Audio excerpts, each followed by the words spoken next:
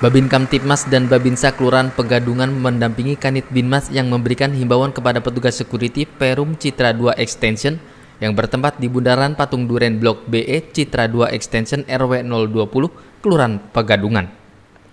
Babin Kamtipmas Kelurahan Pegadungan Aibtu Kasturi dan Babinsa mendampingi Kanit Binmas Polsek Kaliders Ibtu Hartaya memberikan himbauan dan pembinaan kepada personil Satpam Perumahan CT2 Extension RW 20 Pegadungan. Kanit Binmas memberikan arahan tentang sikap tampang dan SOP Satpam. Kemudian dilanjutkan dengan olahraga pagi untuk menjaga stamina fisik sebagai anggota Satpam untuk membantu tugas-tugas kepolisian.